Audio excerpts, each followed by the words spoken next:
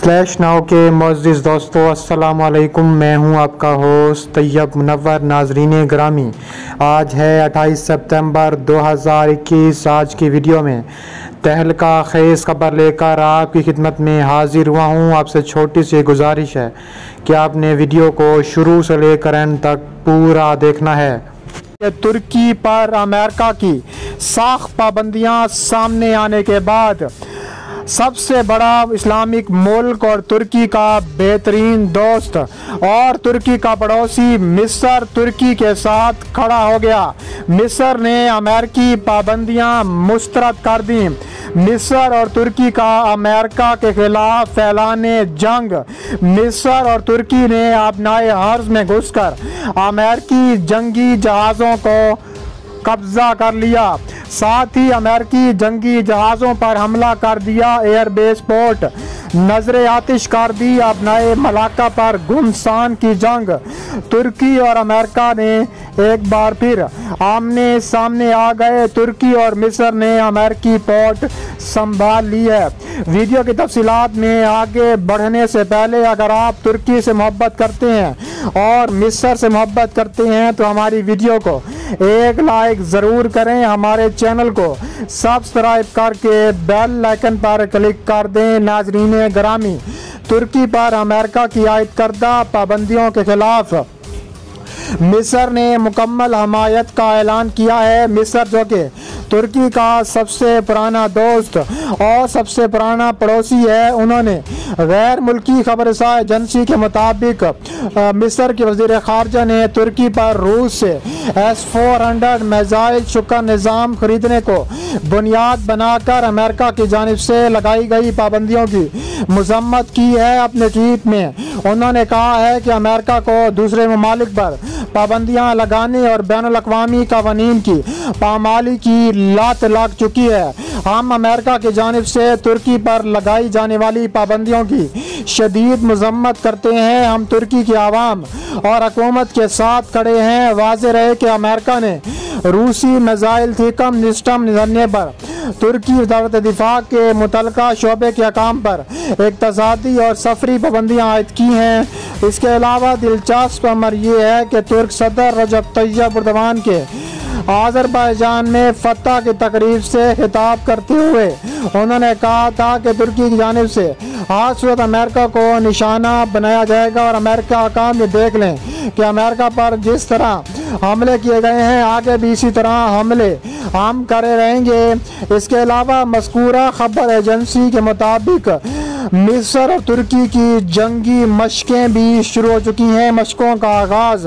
एक ऐसे वक्त में हुआ है जब तुर्की की फोर्सेस एक फौजी ऑपरेशन के लिए शाम में दाखिल होने की तैयारियाँ मुकम्मल कर चुकी हैं।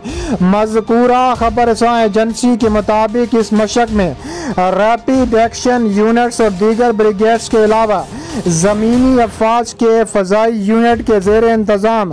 हेलीकॉप्टर्स भी शरीक हैं। याद रहे कि सीरियन डेमोक्रेटिक फोर्सेस ने बुध को अला सुबह बैन अवी इतिहास से मुतालबा किया था कि वह अपने जेर कंट्रोल इलाकों में फ़जाई हदूद पर पाबंदी लगा दे यह मुतालबा तुर्की की जानब से। शाम की सरहद पर भारी पैमाने पर अस्करी कमक मा करने के बाद सामने आया। एस डी एफ़ के coordination and military operation centers ने अपने सरकारी अकाउंट पर बुध की सुबह की गई ट्वीट में कहा है कि शुमाल मशरकी शाम में लोगों को इंसानी बहरान से बचाने के लिए बैन अवी इतिहाद और आलमी बरदरी से अपील करते हैं कि वो इलाके में हवाबाजी पर बंदी आयद कर दें। इसके अलावा मिस्र ने अपनाए हार्स में जारी तरबियती मशक के दौरान अमेरिकी बैडी बेड़ों पर मिज़ाइलों से हमला किया, जिसमें बड़ी तादाद में असले का इस्तेमाल देखने में आया है। खत्े में मौजूद दो अमेरिकी बैरी बेड़ों को काम की जानब से चौकन्ना रहने का हुक्म देना पड़ा। अमेरिकी बैरिया ने ईरानी मशक को गैर जिम्मेदाराना करार दिया और कहा है कि ये मिस्र की हैरानी और डराने की धमकी है। मिस्र ने तुर्की का साथ देकर बहुत बड़ा गलता किया है। ये मशक ऐसे वक्त में हो रही है जब अमेरिका और तुर्की के ताल्लुक बहुत कशीदा हैं और सरद मोरी की जानब बढ़ते जा रहे हैं। मिस्र की जानब से की गई सबियत मशक का नाम।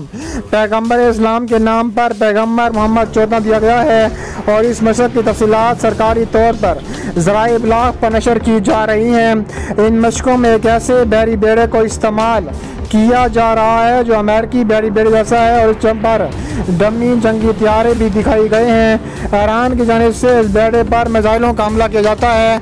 इसके अलावा हेलीकॉप्टर से किए गए एक मिज़ाइल के ज़रिए इस डमी बेड़े को निशाना बनाया जाता है। ईरानी कमांडर और मिस्र तुर्की कमांडर ने कहा है कि हम आज दिखा दिया है कि हमारी फ़जाई और दिफाई सलाहियतें कितनी हैं। इसके अलावा अमेरिकी अकाम ने कहा है कि खत्े में बलिस्टिक मिज़ाइल के इस्तेमाल का इलम हुआ है, जिस पर हम तुर्की और मिस्र को निशाना बनाएँगे। अमेरिका की जानब से मुबैना तौर पर सबूत मुहैया किए जाने के बाद जमेरात को खलीज ओमान में तेल के दो टैंकरों पर हमला के जिम्मेदार मिस्र और तुर्की को जिम्मेदार करार दिया है और खलीज में बहरान मजीद बढ़ चुका है। अगरचे इस वाक़े के बाद अभी बहुत कुछ सामने आना बाकी है। मगर जहाँ तक ट्रंप इंतज़ामिया का मानना है, सबूत बिल्कुल वाज है। इससे यकीन यह सवाल पैदा होता है कि अब क्या होगा? अमेरिका का रद्द अमल क्या होगा? बहुत कुछ दाव पर लगा हुआ है।